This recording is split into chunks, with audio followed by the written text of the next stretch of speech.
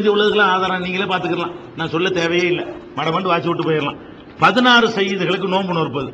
என்ன பண்ணுறாங்கன்னா பதினாறு செய்திமார்கள் சரிதைன்னு ஒரு புஸ்தகம் போட்டிருக்கிறாங்க. பதினாறு பேர் வரும். அந்த புஸ்தகத்தை வச்சுக்கிட்டு அந்த பதின ஒவ்வொரு மாதமும் பிறை பதினாறு அன்னைக்கு அந்த அந்த பதினாறு செய்திகளுக்கு நோன்பு வைக்கணும். பிறை பதினாறில். அப்படி வச்சா பணக்காரனா போகலான்னு ஒரு புஸ்தகம் போட்டிருக்காங்க. அதை வச்சுக்கிட்டு அந்த நோன்பை யாருக்கு வைப்பாங்க? அந்த பதினாறு செய்திக்கு வைப்பாங்க. அதுக்கு என்ன சொல்கிற ஆதாரம்? செய்தி என்ற அரபி சொல்லுக்கு. பதினாறு செய்திக்கு நோன்பு வைக்கணும் ஆதாரத்தை காட்டுறதை விட்டுவிட்டு எப்படி காட்டுறாங்க? செய்தி என்ற அரபி சொல்லுக்கு தலைவர் என்று பொருள். நபிகள் நாயகம் அவர்களின் புனித குடும்பத்தை சேர்ந்தவர்களுக்கு இச்சொல்லை பிர- பிரயோகிப்பது இஸ்லாமியர்களின் வழக்கில் உள்ளது. நோன்பு நோற்று அதன் நன்மையை நபிகள் நாயகம் அவர்களின் குடும்பத்தை சார்ந்தவர்களுக்கு சேர்ப்பிக்கப்படுகிறது. முன் சென்றவர்களுக்காக நோன்பு வைத்து அதன் நன்மையை சேர்ப்பிக்க முடியும் என்பதற்கு இறை தூதர் அவர்கள் கூறினார்கள். ஒரு நோன்பு கடமையான நிலையில் மரணித்து விட்டால் அவருக்காக அவருடைய வாரிசுதார் நோன்பு வைக்கட்டும். அது சாதாரணம் காட்டி பதினாறு செய்யுதுக்காக அவர் நோக்கலையா? அல்லாவுக்கு தான் வைக்கிறாங்களாம் நன்மையை அவங்களுக்கு சேர்த்து வைக்கிறோம். உல்டா பண்றாங்க பாயிண்ட் மாத்துறாங்க. இவங்க வைக்கிறது யாருக்கு? பதினாறு செய்யுதுகளுக்காகத்தான் அந்த நோன்பு வைக்கிறாங்க. அந்த இபாதத்து அவங்களுக்கு. அப்படின்னு வைத்துப்பட்டு என்னடான்னு கேட்டா அந்த நன்மையை அவர்களுக்கு சேர்த்து வைக்கிறோம் அப்படின்னு சொல்லிடுறா. அதுக்கு ஆதாரம் என்னவா?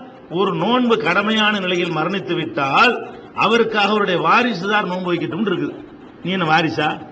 அதுலயே மா- மாறி போச்சு. ஹதீஸ்ல எப்படி இருக்கு? மண் மாத்த அலைகி சௌமுன் சாம அன்ஹு வலியுகு அவனுடைய வழி அவனுடைய காரியத்துக்கு யார் அடுத்து பொறுப்பாளியா வரப்போறானோ அவன் புள்ள வைக்கணும்னு இருக்குது.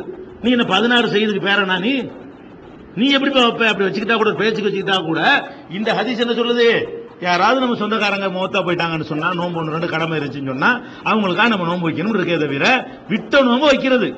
அவருக்காக தான் அந்த நோன்பு வைக்கிறோம். அவர் நம்ம நோன்பு வச்சு அவர் சேர்த்து வைக்கல. அவருக்காக நம்ம நோன்பு வைக்குமா? எல்லாம் என்ன செய்யறான்? வாரிசுதார் நோன்பை அவருடைய நோன்பை ஏத்துக்கிறான் அப்படின்னு ஹதீஸை காட்டிட்டு இதனாலதான் என்ன செய்யறோம்? நாங்க வைக்கிறோம். இன்னொரு ஹதீஸை பாருங்க. யார சொல்லலாம் எனது தாயார் ஒரு மாத நோன்பு கடமையான நிலையில் மரணித்து விட்டார். அவருக்காக நாம் அந்த நோன்பை கலா செய்யலாமா? என்று தோழர் கொட்ட பொழுது ஆம் என்று சொன்னார்கள். தாயாருக்கு அத்தனை மகன் கேட்டாரு. அதான் மார்க்கத்தில் அனுமதி இருக்கு நம்ம சொல்றோமே. தாயாருக்காக மகன் வைக்கலாம் தகப்பனுக்காக மகன் வைக்கலாம். வைக்கணும்ல சொல்றோம். இறந்து போனவன கடனை கொடுப்பா நோன்பு எது மிச்சம் இருந்தா கேட்டு வைப்பான்னு நாங்க சொல்றோம். நீ என்ன பண்ற? பதினாறு செய்யுதுன்னு ஒரு பதினாறு பேரை வச்சுக்கிற. அந்த பதினாறு பேருக்கும் அந்த நோன்பு வைக்கணுங்கிறத ஒரு அடிப்படை உண்டாக்குறீங்க. அதுவும் எப்பதான் வைக்கணுமா? பிறை புது வணக்கம் இது. பிறை பதினாறுல தான் வைக்கணுமா? ரமலானை தவிர ஒவ்வொரு மாசம் பதினாறு. ரமலானை தவிர ஒவ்வொரு மாசமும் எப்போ வைப்பாங்க? பிறை பதினாறுல நோன்பு வைப்பாங்க. இப்படி வந்து பதினாறு வருஷத்துக்கு வச்சுக்கிட்டு வரணுமா? இப்படி வச்சுக்கிட்டு வந்தோம்னு சொன்னா அந்த பதினாறு செய்யுதுகள்னால் நம்ம இணைஞ்சு பணக்காரனா போயிருவோம்.